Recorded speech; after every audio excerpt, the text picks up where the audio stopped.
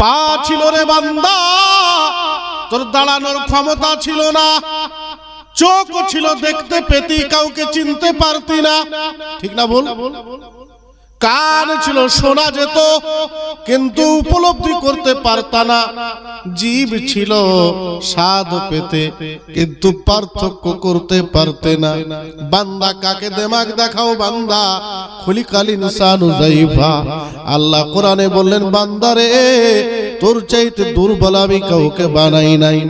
একটা মুরগির বাচ্চা ডিম থেকে বেড়াইয়া তাকে হাঁটতে কাউকে শিখাতে হয় না। নিজেই হাঁটা চলা করে খাবার চেনাতে হয় না। পাথরের সাথে কাকুর মিশিয়ে দাও। ও কাকুর আলাদা করে দেবে, চাল খেয়ে উঠে যাবে। কিন্তু বান্দা, তুমি এত বুদ্ধিমান। তুমি নিজেকে এত চালাক মনে করো। নিজেকে এত নেতা, নিজেকে এত বাহাদুর, নিজেকে এত মাস্তান মনে করো। একবার চিন্তা করো। এক বছর ছয় মাস, নয় মাস ধরে যেখানে পেশাব করেছ, পায়খানা করেছ লেড়ে ঘেটে জিভেও চেটে দেখেছ, জোরে বলেন, ঠিক না বল? বান্দা নিজের খাবার চিনতে না, বান্দা নিজে চলাফেরা করতে জানতে না। তুমি তো মায়ের বাপের ফপুর চাচা, চাচি, নানা দাদির হাত ধরে চলা শিখেছো। আজকে তুমি এত দেমাগ কাকে দেখাও? তোমার দেমাগ তো চলবে না। আল্লাহ বলেন বান্দারে তোমরা যতই দেমাগ দেখাও না কেন, আমি সুযোগ দিয়েছি, ছেড়ে দেব না। ছাড়বেন নাকি? ছাড়বে? লজ্জাও লাগে না আমাদেরকে? এত বেহায়া হয়ে গেলাম? বুলেট চালাই জামার বোতাম লাগাই না শীতে? এত বাহাদুর? আবার বিছানায় শুয়ে যখন একটা মশা কানের পাশে বেদের মেয়ে জোসনা শোনাতে লাগে, তখন বাড়িয়ালিকে গাল দি মশা টাঙানোর জন্য। এই মশারি টাঙানো রে? বলি না বলে বলি না। কত মাস্তান আপনি দেখা গেল তো? কত বাহাদুর আপনি শেষ?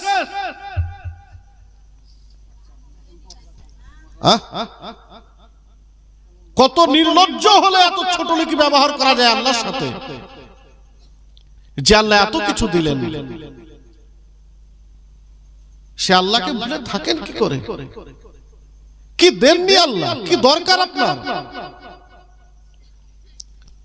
চোখ দিয়েছেন দেখছি, কান দিয়েছেন শুনছি, জীব দিয়েছেন কথা বলছি।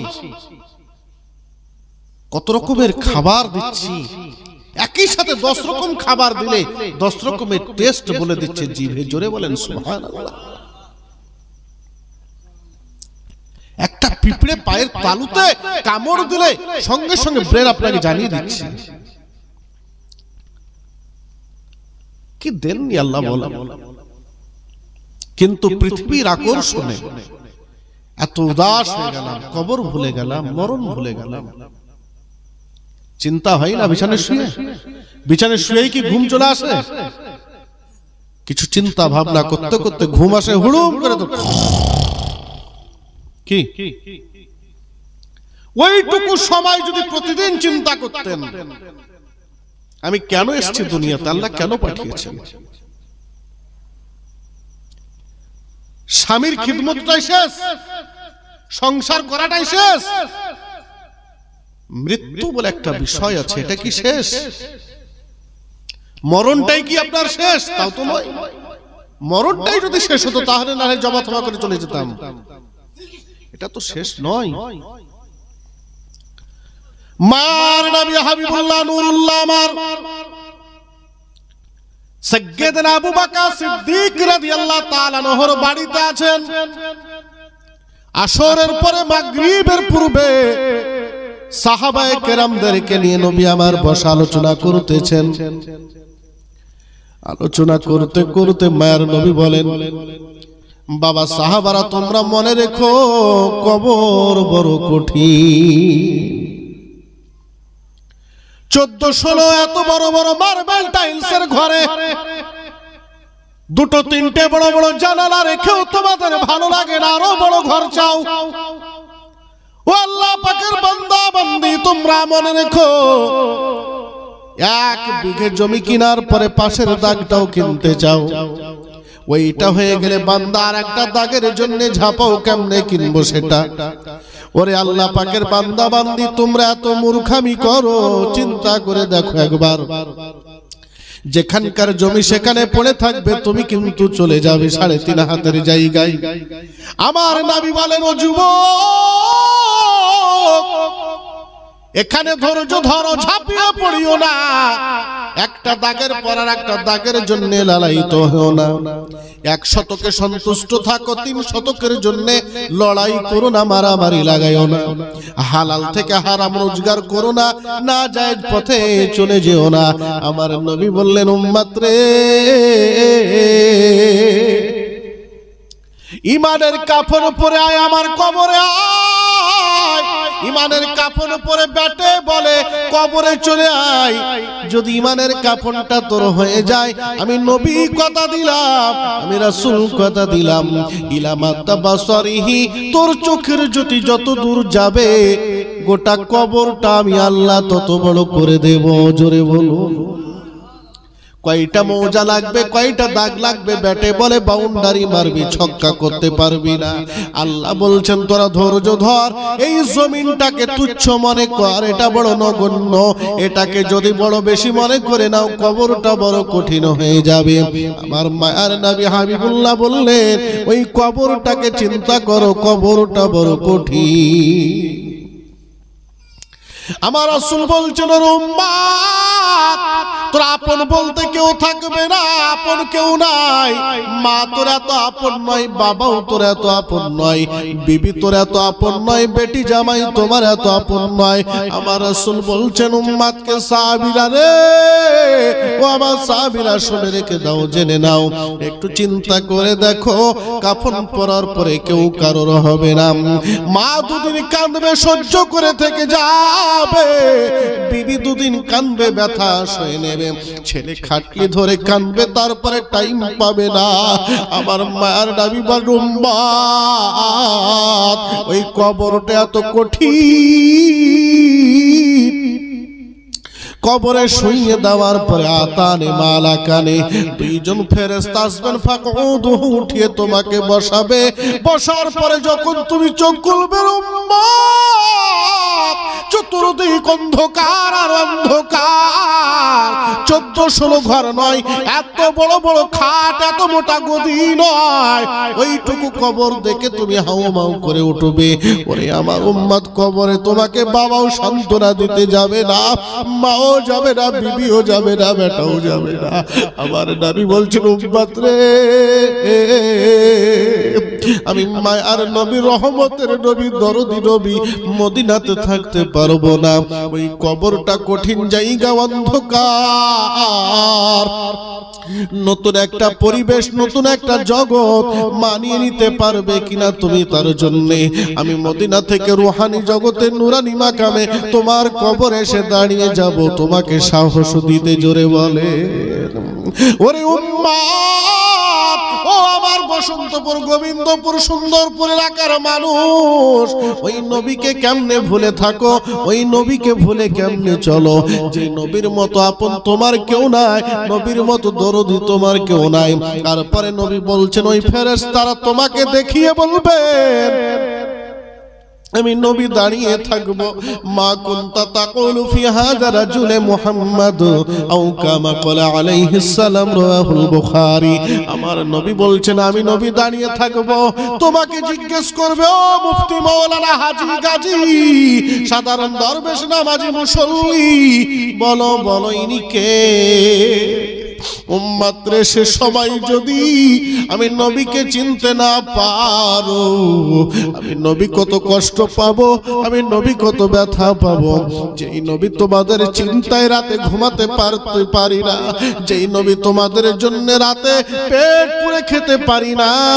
আম্মা এসা সিদ্দিকা নবীকে বলতেছেন, ওগো নবী, একটিবার বলেন আপনি নাকি মায়ার নবী, আল্লাহর প্রিয় নবী? বলে হা বলে, আপনি এত আল্লাহর প্রিয় নবী হওয়ার পরে সারা রাত দাঁড়িয়ে দাঁড়িয়ে এত নামাজ কেন পড়েন? জোরে বলেন সুবাহান আল্লাহ আমার মায়ার নবীকে আম্মা এসা বলছেন, হুজুর, বড় মায়া লাগে গো, মায়া লাগে।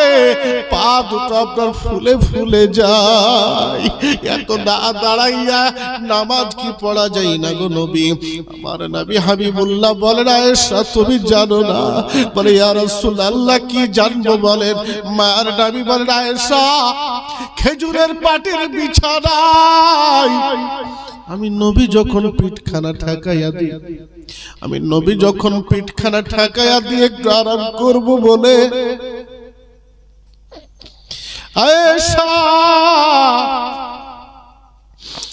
আমার উম্মাতের কথা মনে পড়ে যায়।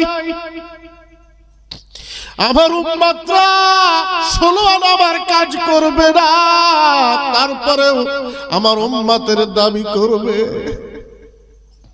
ওরে আয়েশা, তুমি জানো না, আমি যে রহমতের নবী।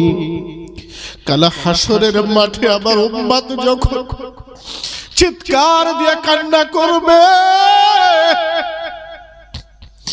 আমাকে পেয়ে তারা ছুটাছুটি করবে। বলবে ইয়ার সুল আল্লাহ বাঁচান। আমি দরদি নবী যে তখন সহ্য করতে পারব না।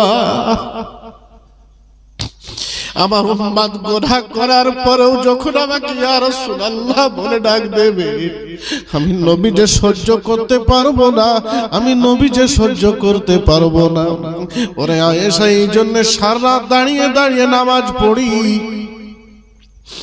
কাল কায়ামাতের মাঠে আমার উম্মাত যতই গুনাহগার হোক না কেন, আমি আল্লাহর কাছে বাইনা ধরলে আমার আল্লাহ যেন নারাজ না হয়, আমার বাইনা যেন কবুল করে নেয়।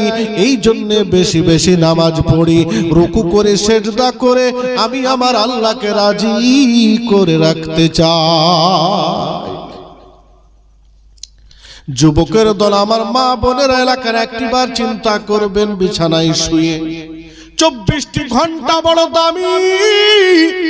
এই ঘন্টাগুলোকে রুটিন করেন নিয়ম করেন। কতক্ষণ সংসারে রান্না করবেন, কতক্ষণ সংসার করবেন, কতক্ষণ দোকান চালাবেন, কতক্ষণ জমি জায়গা চাষ করবেন। চব্বিশটি ঘণ্টার মধ্যে যুব আমার বাবাজিরা, মা বোনের একটা ঘণ্টা কমপক্ষে বের করেন। সেটা রাত বারোটার পরে হোক, দুটোর পরে হোক, দিনের বেলাতে হোক, একটা ঘণ্টা আল্লাহ পাকের জন্য আপনি বের করেন। এই ঘন্টাটা আল্লাহর জন্য আমি বের করেছি। আমি আল্লাহর আল্লাহ আমার, মাঝখানে আমি আর কাউকে রাখব না। এমন করে একটা ঘণ্টা যদি আপনি বের করতে না পারেন, আপনি আল্লাহর কাছে দাঁড়াতে পারবেন না। আল্লাহ আপনাকে হাত দিলেন, পা দিলেন, চোখ দিলেন, নাক, কান দিলেন। এত সুন্দর বডি এত সুন্দর দেহ, সারা জীবন আল্লাহর না ফরমানি করে গেলেন। শোনার পরও নামাজে গেলেন না। চার দোকান থেকে ওঠেন না, সিরিয়াল বন্ধ হয় না। জমির চাষ বন্ধ হলো না বিছানার ঘুম ভাঙলো না। এরপরেও আপনাকে তো আল্লাহ খাবার বন্ধ করে দেননি জিভের স্বাদ কেড়ে নেননি কানের সোনা কমায়া দেননি চোখের দেখা বন্ধ করে দেননি। আমার আল্লাহ কত দয়াবান! চিৎকার দিয়ে আমার আল্লাহ আকবার! আমার আল্লাহর কত মায়া রে যুবক? আমার আল্লাহর কত মায়া? তোমার বউ দুদিন কথা যদি না শোনে বউকে বাড়ি থেকে বের করে দাও। বাপের বাড়ি পাঠিয়ে দাও তালাক দাও ডিভোর্স দাও।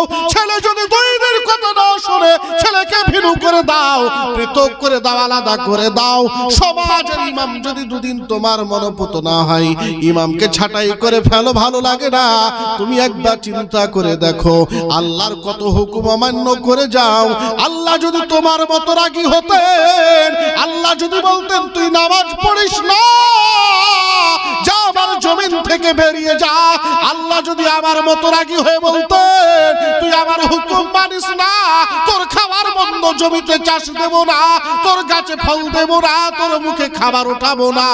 আপনার অবস্থাটা কি হতে একবার চিন্তা করে দেখেন। আপনি এত নাফারমানি করেন, এত হুকুম অমান্য করেন, আল্লাহর তো দয়া বন্ধ হয়ে যায়নি। তারপরেও তো আমার আল্লাহ বলে, বান্দা, বান্দি রে, পাহাড় পরিমাণ পাপ করেছ, কেউ জানে না, আমি জানি আর তুমি জানো। মাঝখানে কাউকে রাখতে হবে না। তুমি আমার কাছে দাঁড়িয়ে যাও, বান্দা, বান্দি। তোমার পাপ যতই বেশি হোক না কেন, আমার কাছে তুমি বলে দাও, আমার কাছে ধরা দিতে দাঁড়া আমার আল্লাহ বলছে, বন্দারে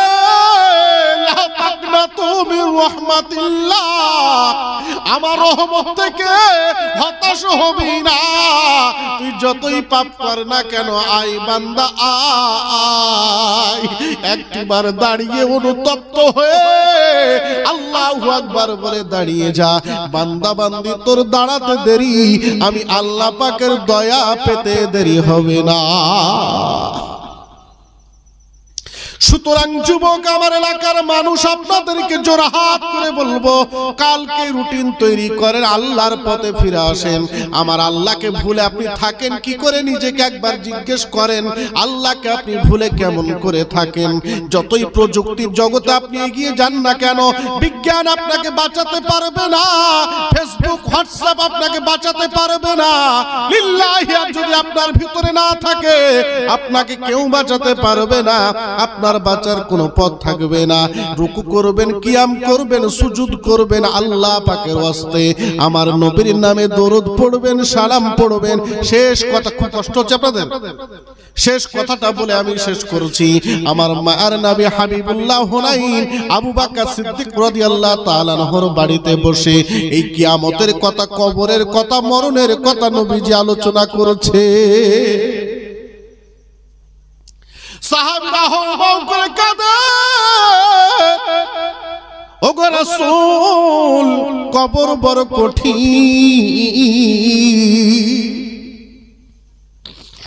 মায়া রাসূল আবার বলছিল কায়ামাতের মাঠে তুমি কাউকে পেয়ে যেতে পারো।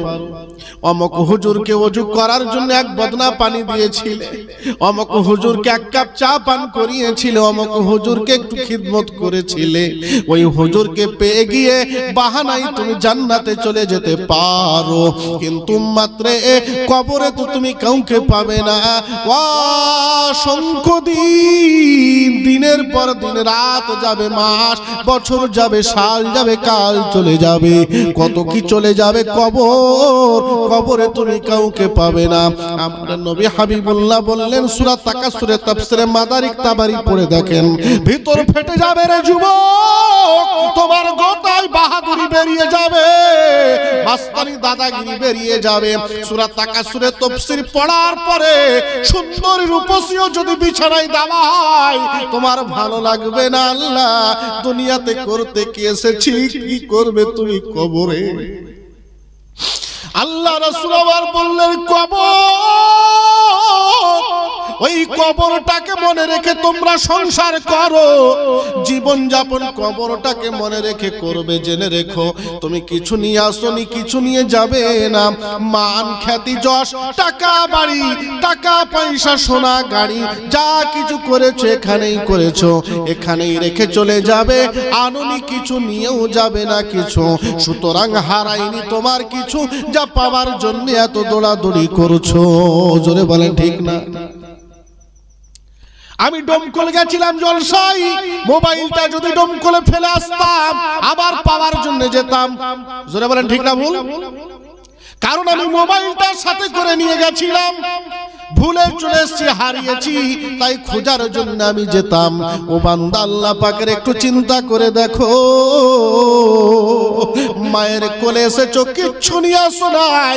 টাকা করি বাড়ি, গাড়ি, সোনা, দানা, যা কিছু করলাম। এইখানেই করেছি, এইখানেই রেখে যাব। আনিনি সাথে করে কিচ্ছু, হারাইনি কিছু। লাভ হলো না, লস হলো, ব্যথারও কিছু নাই, আনন্দেরও কিচ্ছু নাই। কারণ লাভ, লসটা আমি এখানেই করলাম। এখানেই রেখে চলে গেলাম। এটা আমার পারমানেন্ট নয়, আমার সঙ্গেও যাবে না। এইটুকু চিন্তা করা লাগবে। মায়ার নাবি আমার বলছিল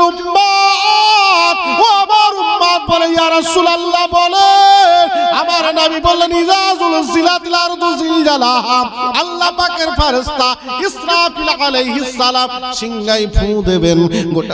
ভূমিকম্প লেগে যাবে, কবরেও ভূমিকম্প লেগে যাবে। ইদাল কবর বসিরাত কবরগুলো ফেটে ফেটে যাবে। ইয়া ওয়াইলানা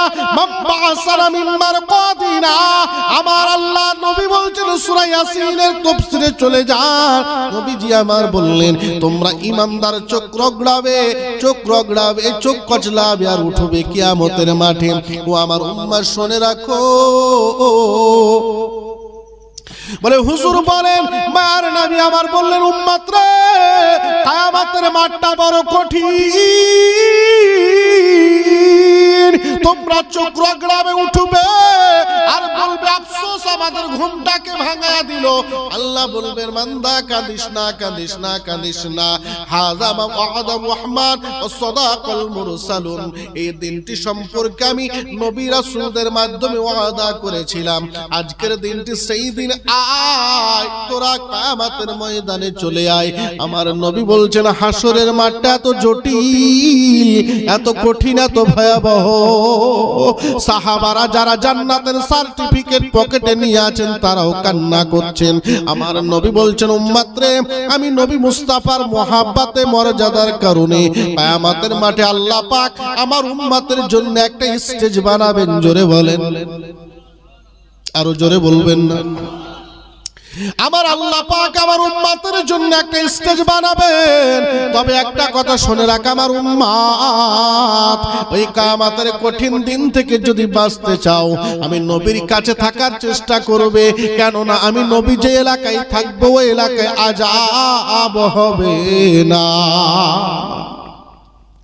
সাহাবীরা বললেন, হুজুর, আপনাকে কেমনে পাবো, কোথায় পাবো? নবী আবার বললেন, আমি তিনটি জায়গায় থাকব, কয়টা জায়গায়? সাহাবীরাকে নবী আবার বললেন, তিনটি জায়গা তোমাকে খুঁজবে মিজানের ধারে।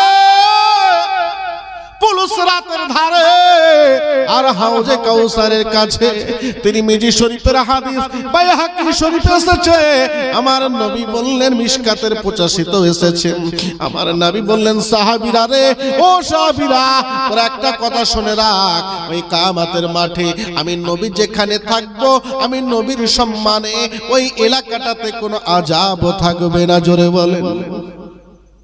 তোরা একটা কাজ করবি, আমি নবীর কাছে কি তোরা থাকতে চা?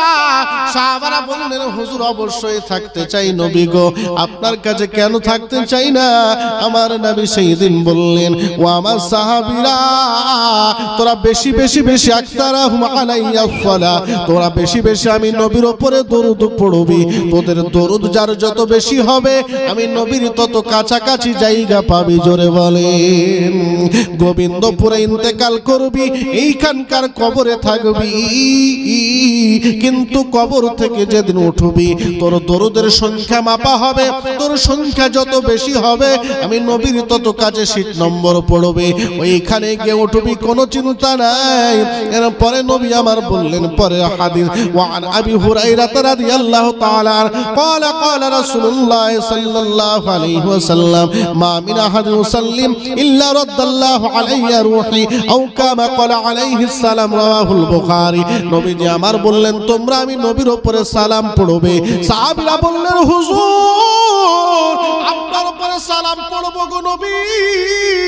আপনার ইন্তেকালের পরেও পড়ব নাকি?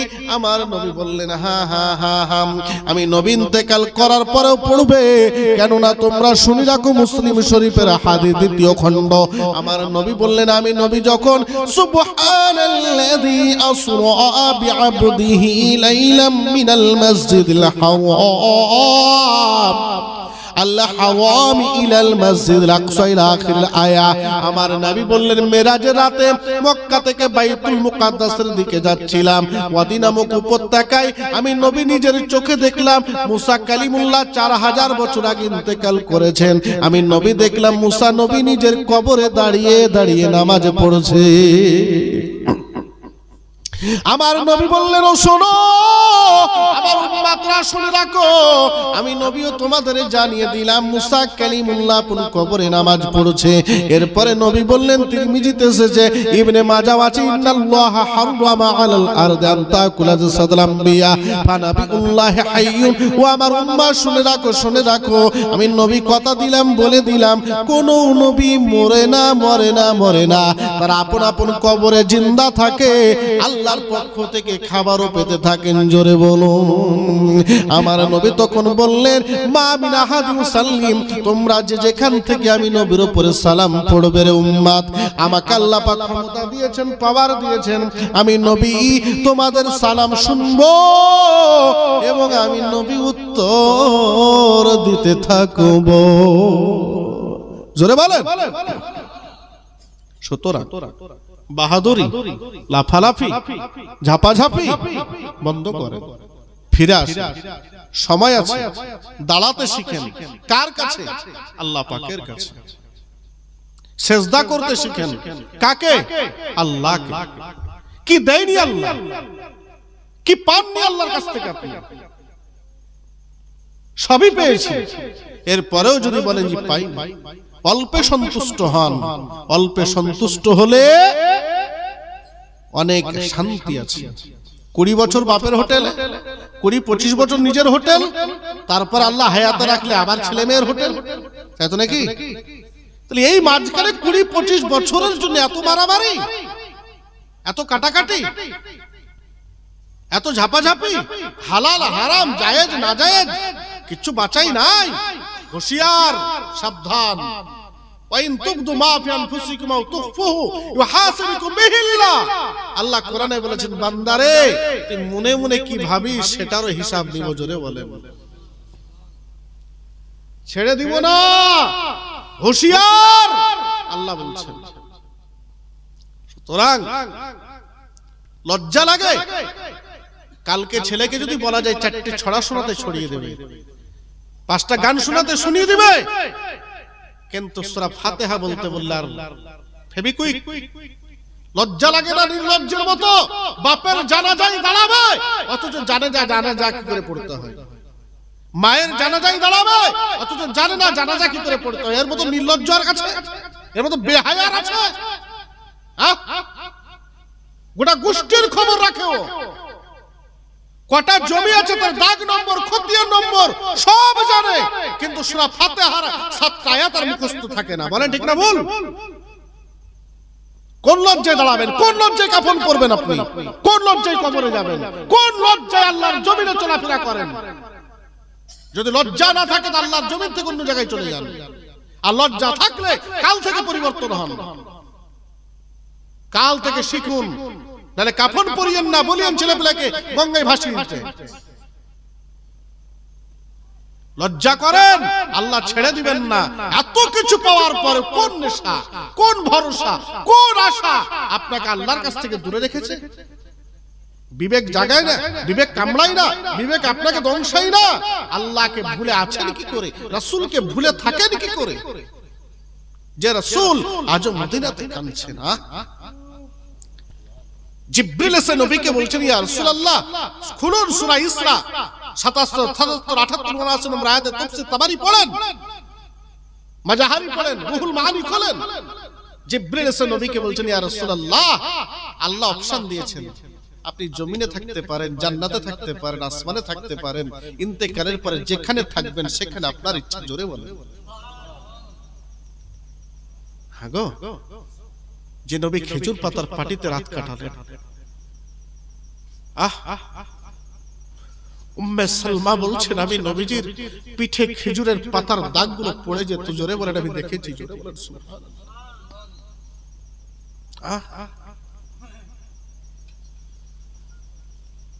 পাথরের এবড়ো খেবড়ো পাথরে মাথা রেখে নবীর মাথা ব্যথা করছে। নবী ডান হাতটা মাথার তলে দিয়ে শুয়ে আছে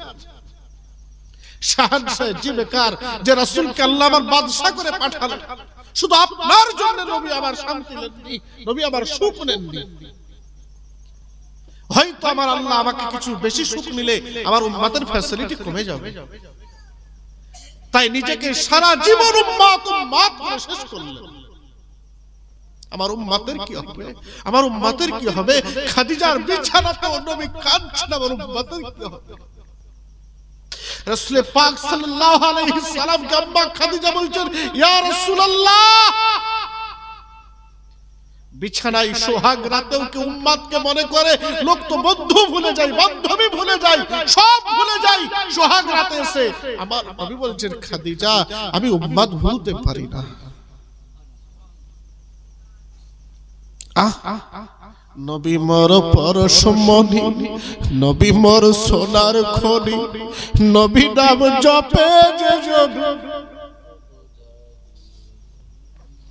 পড়ে নবী মর পরশমণি, নবী মর সোনার খনি, নবী নাম জপে যে জন সেই তো দোজা হানের ধ্বনি। নবী মর পরশমণি এ নামের সুর ধরিয়া পাখি যাই গান করিয়া। এ নামেতে ব্যাকুল হলেন মাওলায় আমার কাদের গনি।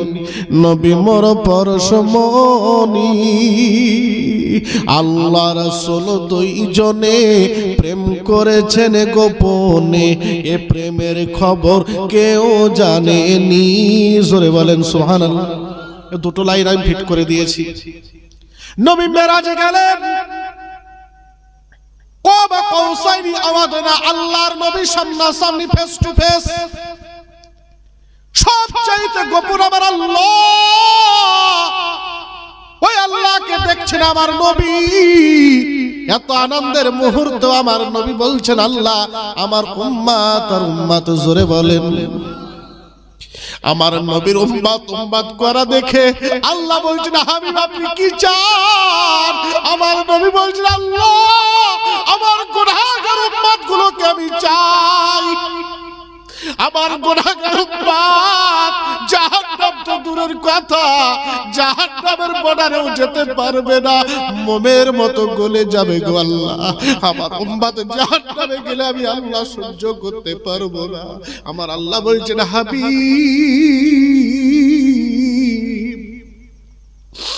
আপনাকে সাফাতের দায়িত্ব দেব। আপনি যার সাফাত করবেন, আমি আল্লাহ কবুল করব। নবী তারপরে সন্তুষ্ট হলেন সুস্থ হলেন নর্মাল হলেন। তাই আমি বলছি, আল্লাহ রাসূল দুইজনে প্রেম করেছেন গোপনে। এ প্রেমের খবর কেউ জানেনি। নবী মোর পরশমণি, নবী মোর সোনার খনি। নবী নাম জপে যে জন সেই তো দো জাহানের ধ্বনি। নবী মোর পরশমণি, এ প্রেমের মর্ম বাণী কোরআন খুলে দেখো তুমি। আলিফিলাম মিমের মানে কেউ তো করেনি। নবী মোর পরশমি এই